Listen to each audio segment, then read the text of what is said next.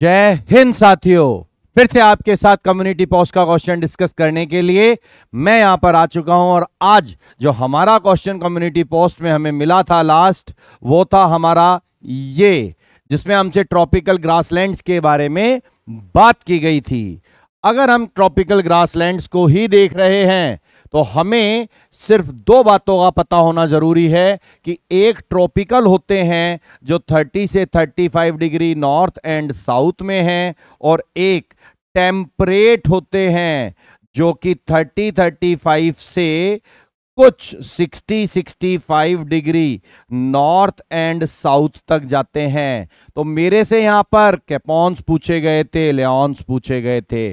जो कि रिस्पेक्टिवली अगर हम ध्यान से देखें, ब्राज़ील में और वेनेजुएला में मिलते हैं। दैट मीन्स ये दोनों के दोनों जो हैं, ये साउथ अमेरिका के कंट्री हैं।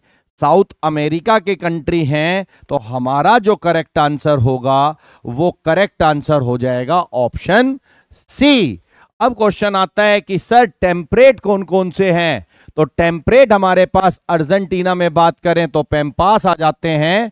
इसके बाद आगे बढ़ते हैं अमेरिका में परारी, साउथ अमेरिका में वेल्स, एशिया में स्टेपीज, यूरेशिया में डाउन्स।